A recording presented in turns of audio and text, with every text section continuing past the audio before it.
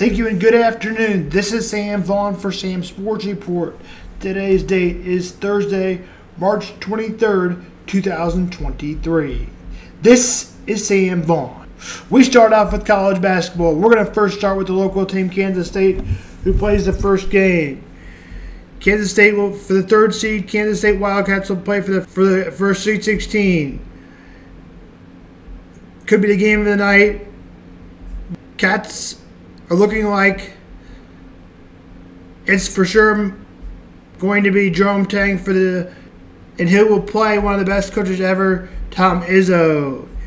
He looks for his eighth Final Four. Obviously, they both of their games this weekend they would have to win in order to go to the Final Four, and the Cats look for their first appearance since 1964 in the Final Four. They made the Elite Eight just recently in 2017. Bruce Weber was the head coach back then. Now let's look deeper into the game. Players to watch out for it's Keon Johnson and Markquis Nowell, who has been determined in the NCAA tournament. He is from New York, where the game is played in Madison Square Garden. Here's more from Nowell after John Cal apologized to him for calling him a little kid. That regarding that apology, here is Nowell. Congratulated him on you know his career and what he's done you know at Kentucky, and told him that you know I'll be happy to see him at the Hall of Fame one day, and um, he said, yeah, you'll get there too uh, because your passion, your hard work um, will get you there, and he wanted to stand at you know, my press press conference when I do get inducted. So it was just a cool exchange. I mean, it was a cool exchange. I mean, shout out to Coach Cal for reaching out to me. That was that was really big. Michigan State key players to watch out for Tyson Walker, who averages 15 points a game. 15 points a game. The Cats also want to watch out for Joe Fortenberg, now the Spartans are favored by, based on Tom Izzo's success, favored by one and a half. 78 73 is my final tip as a 5 TBS.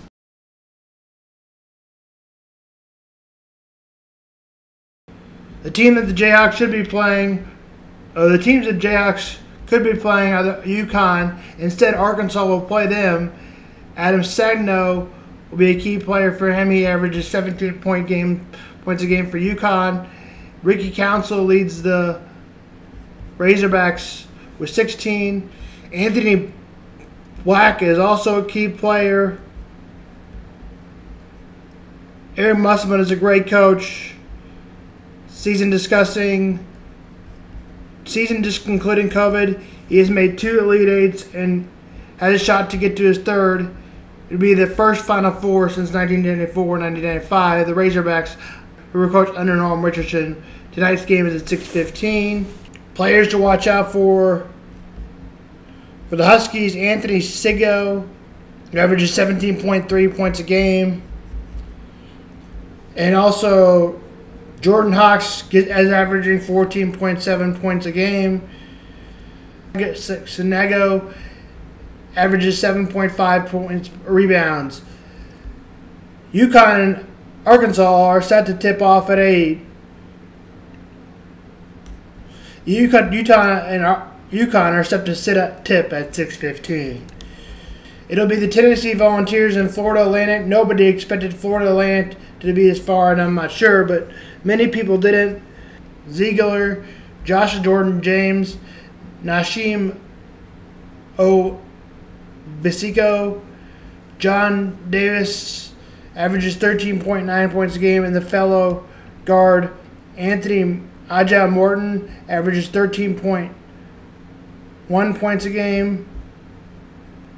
For the Owls, the leading scorer is Vitus Goldin.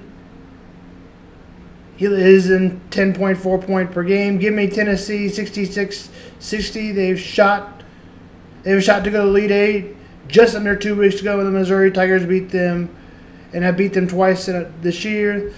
they did. The Vols are favored by five. Game time is at 8 o'clock.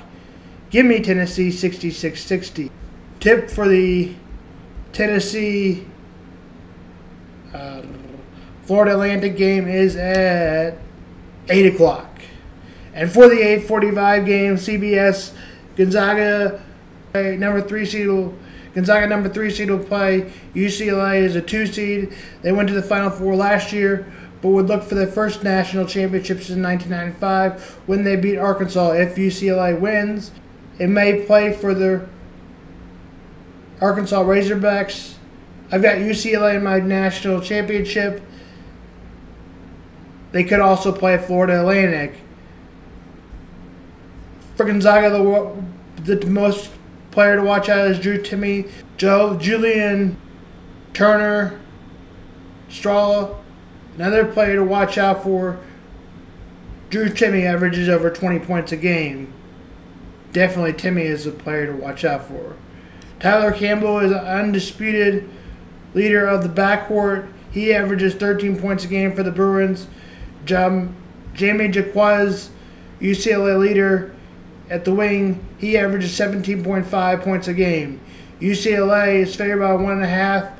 Gonzaga has never won a national championship. It's about time for Mark Few to win one. They went to the national championship a few years back. Give me UCLA by 3, 83-80. But maybe some success will come in the tournament towards Mark Few's way. We'll give you more preview on Friday about these games, but San Diego, the five seed, will play Alabama. The number one seeded tip is at 5:30. The number one seeded Houston will play Miami in Kansas City Sprint Center, 5:30 TBS tomorrow night. The number 15 seeded, who beat the Missouri Tigers, Pepperdine will play Creighton. The Little Schools. Game time is at 8. Xavier, number three seed versus number two seed. Texas will play in Kansas City, 8:45. Now coaches moving again. Sources say Notre Dame hires Penn State coach Micah Shibwe. Kim English, former Missouri Tiger great, hired to Providence. Here's more on Kim English back at his playing day in 2012 after the Tigers won a Big 12 championship. This game is over. Missouri will win the Big 12 championship.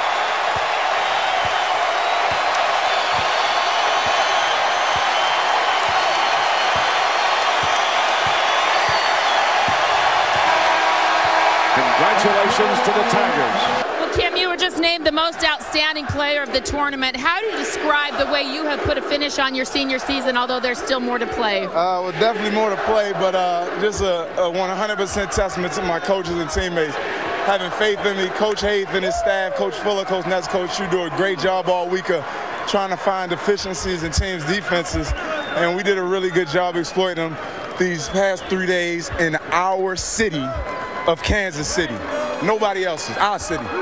Well, you had an emotional little speech right before this game started to your teammates that really fired them up. What would you say to them?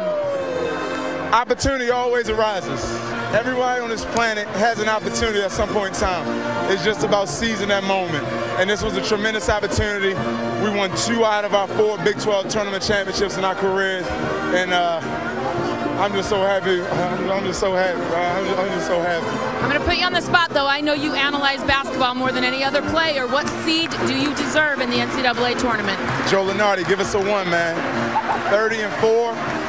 Finished the season off right. Five straight wins, I think. Come on, Joe Lunardi. No non-conference losses. Come on, Joe. Now on to the NFL. Jaguars signed former Brown D'Ernest Johnson to a one-year contract. Former Chief Mecole Hardman is signed to a one-year deal with the Jets, worth 6.5 million. And you see the Jets, though. I think um, Elijah Moore is a better player, but the, that's all they care about is they're getting Aaron Rodgers. The Jets. So Jets trading Elijah Moore for a third-round pick to the Browns for a second round pick to the Jets. I think I like the Chiefs signing DJ Chark as a wide receiver. Last year, he had 500 yards. I think he'd be a good fit in Kansas City. I'm not so sure about Odell Beckham Jr. and DeAndre Hopkins. Not because they aren't good, but because how good are they as teammates, you don't know. Also, local baseball college, Mizzou and Kansas. The Tigers started off with a 3 0 lead. The Jayhawks came back to tie it at 3 3. Top of the ninth, the Tigers score 5 in the ninth. The Tigers win 8 3 in college ba- baseball. This is Sam Vaughan for Sam Sports Report.